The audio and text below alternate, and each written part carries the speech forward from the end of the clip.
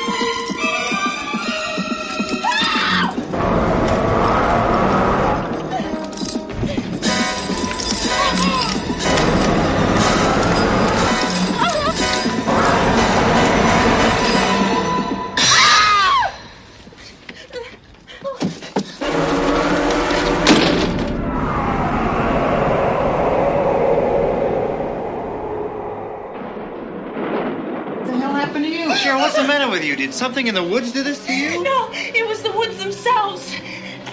They're alive, Ashley.